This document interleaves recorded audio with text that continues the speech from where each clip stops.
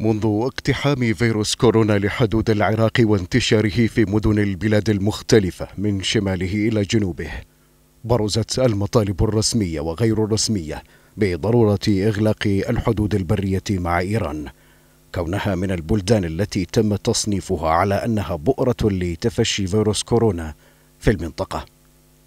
ومن أقصى شمال العراق لم يكن الأهالي بمنأى عن دخول الوباء القادم من طهران.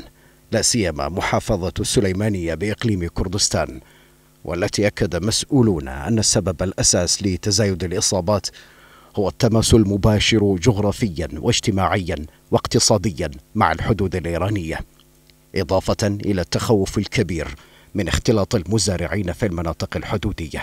وجود قلق كبير للسلطات يعني الصحية في كردستان. والأسباب الثانية أكو أسباب ثانوية.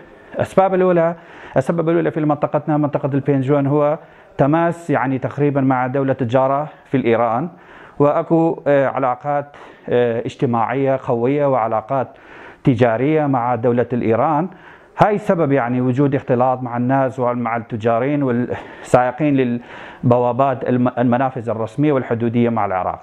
أهالي قضاء بنجوين طالبوا جميع المواطنين بضرورة اتباع الإجراءات الوقائية وارتداء الكمامات والقفازات الطبية عند التعامل مع الزوار والتجار وسائقي الشاحنات الإيرانيين.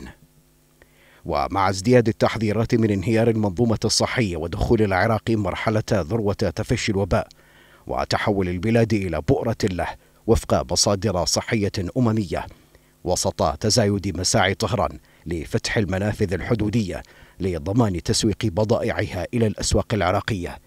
يبقى أمل العراقيين موجها إلى حكومتهم لوضع مصلحة البلاد فوق أية مصالح أخرى.